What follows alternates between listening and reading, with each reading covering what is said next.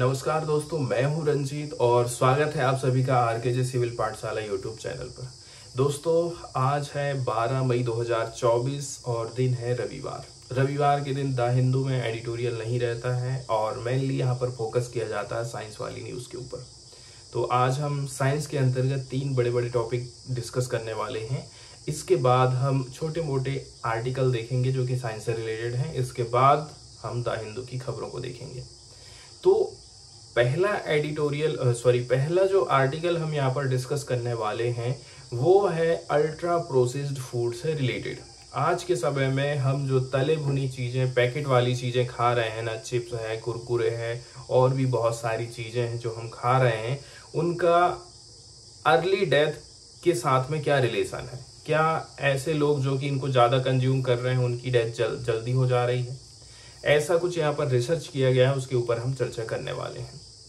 इसके बाद हम बात करेंगे फ्लू और अभी जो हमारे केटल्स रहते हैं। नॉर्मली देखा जाए आज के समय में ना, जानवरों से इंसानों में बहुत सारी संक्रामक रोग फैल रहे हैं।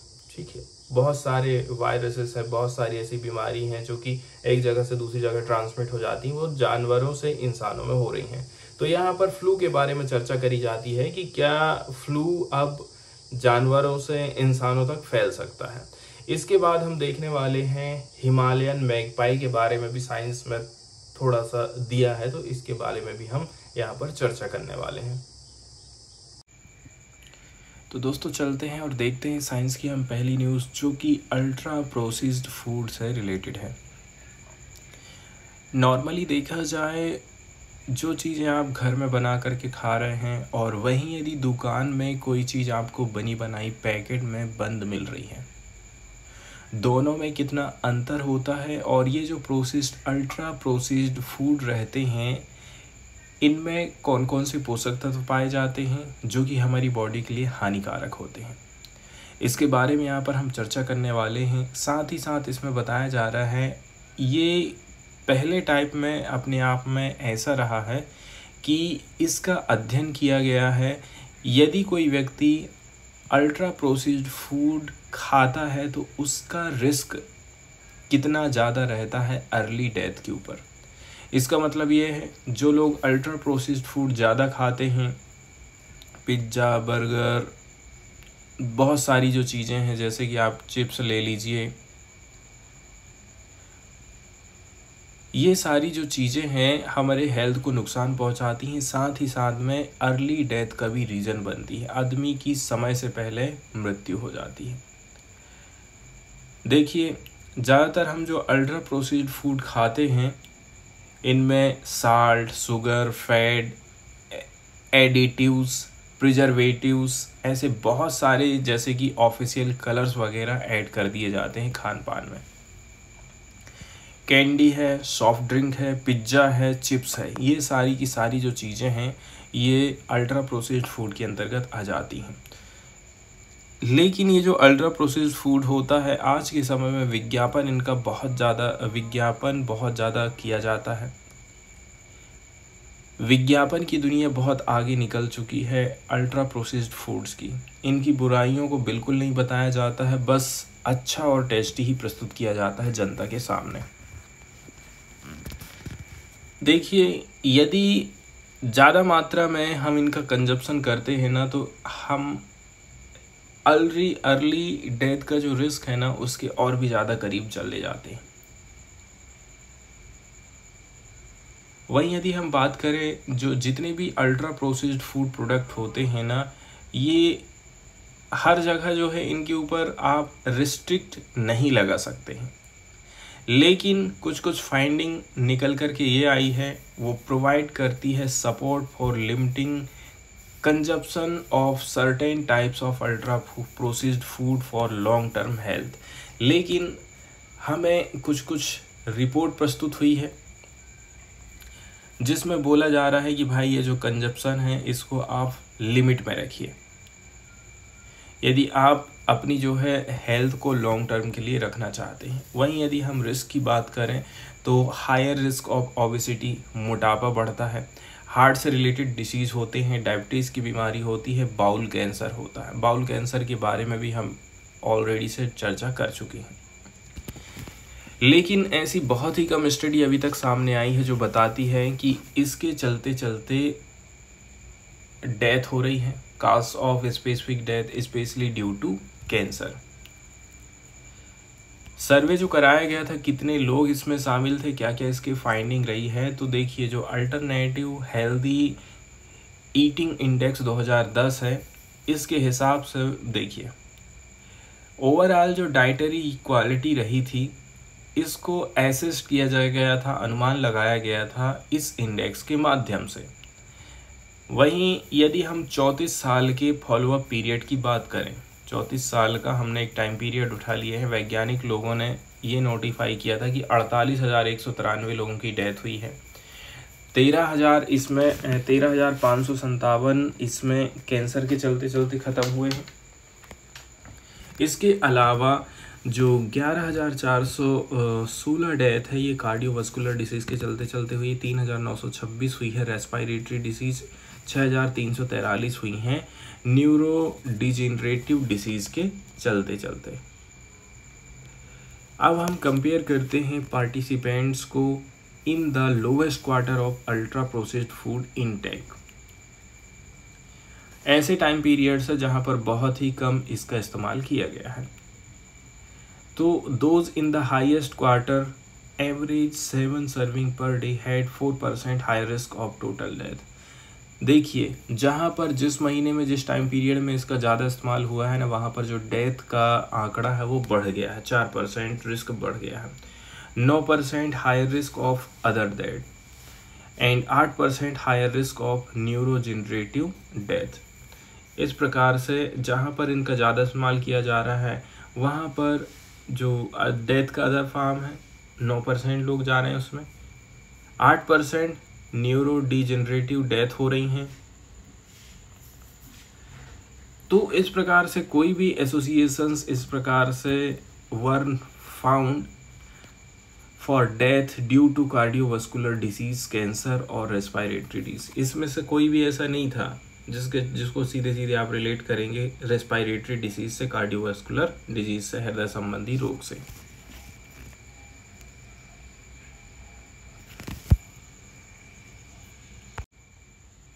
इसके बाद सेकंड वाली जो न्यूज़ डिस्कस करने वाले हैं, ये H five N one virus L avian influenza बीमारी से रिलेटेड है। इसको H five B one bird flu के नाम से भी जाना जाता है। ये एक हाईली पैथोजेनिक वायरस होता है, जो कि प्राइमरी तौर पर सर्कुलेट होता है बर्ड्स में बट कैन इन्फेक्ट मैमल्स लेकिन पक्षियों के अलावा ये जो स्तनधारी जीव होते हैं, उनमें भी ये पाया जाता है, फैल सकता है। एच फाइव एन वन के ओरिजिनेशन की हम बात करें कि कहाँ से इसकी उत्पत्ति हुई थी तो इसका आउटब्रेक हमको देखने को मिला था चाइना में उन्नीस सौ छियानवे में। And rapidly evolve into a highly pathogenic strain इसके बाद ये तेज़ी के साथ में फैलते गया। 2020 से यदि हम देखें, ये across Europe Africa Asia North America South America and mainland Antarctica में तक फैल चुका है। इंडिया ने इस बीमारी को पहली बार फेस किया था H five N one outbreak को state of Maharashtra and Gujarat में सन 2015 में। एनिमल्स के ऊपर इसका क्या इम्पैक्ट पड़ सकता है? वाइल्ड बर्ड की बात करें, इसमें इंक्लूडेड है कैलिफोर्नियन कॉन्डोर्स इनमें एच फाइव एन वन बीमारी देखने को मिली थी। The main species affected used to be chicken and जो सबसे मुख्य कहना चाहिए पक्षी रहा था, वो है इनका इस्तेमाल जो है चिकन के तौर पर किया जा रहा है। Marine mammal such as sea lion and dolphin है suffered mass death in region like Chile and Peru Chile and Peru में लायंस एंड डॉल्फिन्स की संख्या बहुत ज़्यादा ऐसी थी जो कि इस बीमारी से ख़त्म हुए हैं। कुछ स्तनधारी जीव ऐसे हैं जैसे कि फॉक्सेस हैं प्यूमास है बियर्स है नॉर्थ अमेरिका में and farm in Spain and Finland hand also been infected क्या होता है? ये इन्फेक्टेड जानवरों को खाते हैं और उन जानवरों से ही इन जानवरों में भी ये वायरस फैलते जाता है।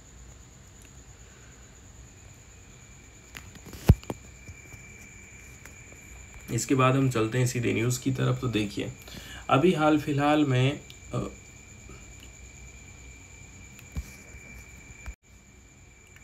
देखिए, अभी तक यदि देखा जाए ना तो अभी हम इसका जो अध्ययन करते थे, बर्ड फ्लू का, वो ज़्यादातर हम बर्ड्स के ऊपर ही कर रहे थे। लेकिन अब इसके असर का अध्ययन किया जा रहा है कैटल्स के ऊपर। क्या ये जो कैटल्स होते हैं, जैसे कि डेयरी में जो पशु पाले जाते हैं, गाय, भैंस पाली जा रही हैं इनके ऊपर क्या इसका असर पड़ सकता है? क्या यहाँ से भी ये चीज़ फैल सकती है? क्या इनमें भी कहीं पर ये पाई गई है? ये जो H five N one virus होता है, ये डिटेक्ट किया गया है हाई कंसंट्रेशन इन मिल्क दूध में ये ज़्यादा पाया गया इसका मतलब ये है दूध देने वाली जो गायें हैं, इनके दूध में ज़्यादा पाया गया वहीं यदि आप जो इन्फेक्टेड डेयरी केटल्स की तुलना करें at levels greater than that seen in respiratory samples एक तो हमने दूध का सैंपल लिया और दूसरा सैंपल उठाया था इसकी सांसों का।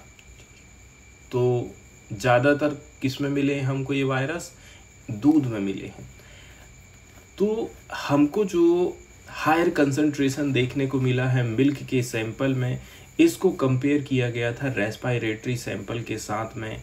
एंड ये सजेस्ट किया जा रहा है कि एच फाइव एन वन जो पैथोजेनेसिस हैं, in cattle differs from other mammals इसके अलग हैं और दूसरे जानवरों के अलग हैं। ऐसी यहाँ पर तुलना करी जाती है।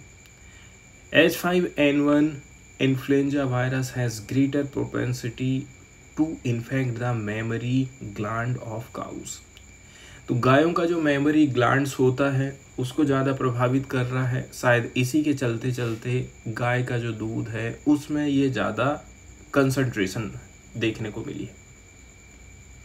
Both human and duck receptors are highly expressed in mammary gland of cows अब सीधी सी बात है, गाय में यदि ये फैला है तो जो इंसान हैं एंड डक्स हैं, ये लोग भी प्रभावित होने वाले हैं। इस प्रकार से देखा जाए ह्यूमन में भी वो चीज़ है डक्स रिसेप्टर्स में भी वही चीज़ है। तो इसका मतलब ये हो गया है कि इस ग्लैंड ने अपॉर्चुनिटी पैदा कर दी है कि H five N one virus easily animal से ह्यूमन में स्प्रीड हो सकता है। जबकि पहले हम बोलते थे, ये जो पिग्स हैं सुअर हैं, इनको एवोल्यूशनरी लैब बोला जा रहा था कि भाई आप जो है फ्लू को होस्ट करते हैं। Due to the presence of human flu and avian flu host cell receptors in the respiratory tract तो इनका जो रेस्पायरेटरी ट्रैक्ट हुआ करता था, उसमें ही ये वायरस पाया जाता था। इसके बाद साइंस की नेक्स्ट वाली न्यूज़ हम यहाँ पर डिस्कस करने वाले हैं, जो कि महिलाओं और क्लाइमेट चेंज से रिलेटेड है। अभी हाल फ़िलहाल में एक स्टडी सामने आई है जिसमें बोला जा रहा है कि क्लाइमेट चेंज का जो असर है महिलाओं और बच्चों में ज़्यादा खतरे पैदा कर रहा है। तो जो महिलाएँ हैं और बच्चे हैं कौन कौन से स्टेट की हम बात कर रहे हैं? बिहार, गुजरात, उत्तर प्रदेश, महाराष्ट्र, मध्य प्रदेश, आंध्र प्रदेश, वेस्ट बंगाल, तेलंगाना। ये ज़्यादा वलरेबल की कैटेगरी में रखी जा रही हैं क्लाइमेट रिलेटेड डिजास्टर एंड ये जो चीज़ हमें पता चली है, एक इंटरनल स्टडी है जिसको कमीशन किया गया था ministry of women and child development के द्वारा। बच्चे सबसे ज़्यादा इससे प्रभावित होते हैं, ठीक है, यदि हम अदर लोगों से तुलना करते हैं तो। ऐसे बच्चे जो कि क्लाइमेट चेंज से प्रभावित हो रहे हैं, बोला जाता है कि ये stunted underweight and more vulnerable to early pregnancies it elaborate इसमें बोला जाता है, बच्चों की हाइट नहीं बढ़ पा रही है, बच्चे कम वज़न वाले पैदा हो रहे हैं, साथ ही साथ में अर्ली प्रेगनेंसी जैसी चीज़ें हमको देखने को मिल जाती हैं। अब इसमें कुछ कुछ जो इशू उठाए जा रहे हैं, उनको ओवरलुक किया जा रहा है। मतलब आज के समय में जब भी हम क्लाइमेट चेंज की बात करते हैं तो इसमें महिलाओं और बच्चों को भूल जाते हैं। इसी से हम पॉलिसी फॉर्मुलेशन अच्छी तरह से नहीं कर पा रहे हैं। ऐसा कहना है, ठीक है, सौम्या स्वामीनाथन का। अब आपको ये भी समझना है कि आखिर किस किस प्रकार से क्लाइमेट चेंज महिलाओं को प्रभावित कर सकता है। एग्ज़ाम्पल के तौर पर आप देख ही रहे हैं। घर के काम भी करना है, पीने के लिए पानी लेने भी जाना है दूर दूर तक गुंडी ले करके जहाँ पानी की अवेलेबलिटी है कि नहीं है और नहीं है तो और उनको परेशानी झेलना पड़ेगा। घर के काम भी करना है, खेत के काम भी करना है और पानी लाने के लिए भी जाना है। वहीं यदि घर में फ़सल अच्छी नहीं होती है तो महिला को भी बाहर काम करने के लिए जाना पड़ेगा। पुरुष तो करते ही करते हैं, साथ ही साथ में उसको घर में भी करना है और बाहर में भी जाना पड़ेगा। इसमें बोला जा रहा है कि यदि हम 70 परसेंट इंडियन डिस्ट्रिक्ट की बात करें, ये हाई रिस्क ऑफ़ फ्लड के अंतर्गत आते हैं, ड्रॉट के अंतर्गत आते हैं, साइक्लोन के अंतर्गत आते हैं। Cyclone, drought, flood. सत्तर परसेंट जिला ऐसे हैं जहाँ पर इनके आने की संभावना बहुत ज़्यादा है। महिलाओं की हम बात करें, उन बच्चों की बात करें जो कि अंडर न्यूट्रिशन में चल रहे हैं, जिनको बहुत कम पोषक तत्व मिल पा रहे हैं। तो जो टीनेज प्रेगनेंसी है and domestic violation violence indicator in these hotspot are also very stark इसके अलावा कुछ कुछ घटनाएँ हैं जो कि यहाँ पर और भी ज़्यादा घटित होती जैसे कि यहाँ पर बोला जाता है। तो ओवरऑल ओवरऑल देखा जाए तो एक सौ तिरासी ज़िले ऐसे हैं जिनको हम और भी ज़्यादा वनरेबल की कैटेगरी में रख रहे हैं कि ये और भी ज़्यादा प्रभावित हो सकता है। हाइड्रोमीटोलॉजिकल डिजास्टर से रिलेटेड जैसे कि यहाँ पर साइक्लोन आएँगे फ्लड आएँगे, जबकि तीन सौ उनचास डिस्ट्रिक्ट ऐसे हैं जहाँ पर सूखा पड़ने वाला है। एंड बोला जा रहा है ये जो स्टडी रही थी वो जनरेट कर पाती है पार्टिकुलरली स्थान विशेष के बारे में जानकारी दे पाती है। जहाँ पर high exposure of hydromet hazards हैं, जैसे कि फ्लड आ सकता है साइक्लोन आ सकता है ड्रॉट आ सकते हैं। एक साथ ये सारी चीज़ें हो सकती हैं। अब कुछ एरिया की हम बात कर रहे हैं, जैसे कि बिहार एंड गुजरात। तो जो जी स्पाइटल मैप्स है, वो बताता है hotspot where exposure to drought flood and cyclone को existing in stunting and underweight children जो स्टंटेड एंड अंडरवेट चिल्ड्रन हैं, उनमें ऑलरेडी से तो समस्या है, ही साथ ही साथ यहाँ पर ड्रॉट फ्लड एंड साइक्लोन आ सकता है। इसके अलावा नॉर्दर्न प्लेन की यदि हम बात करें, इसमें उत्तर प्रदेश आ जाता है, इसको हॉटस्पॉट किया गया है स्टंटिंग के लिए मतलब बच्चों की हाइट जो है ज़्यादा बढ़ नहीं पा रही है। वहीं यदि हम महाराष्ट्र एंड साउथ मध्य प्रदेश की बात करें तो यहाँ पर बच्चे जो है अंडर वेट पैदा हो रहे हैं।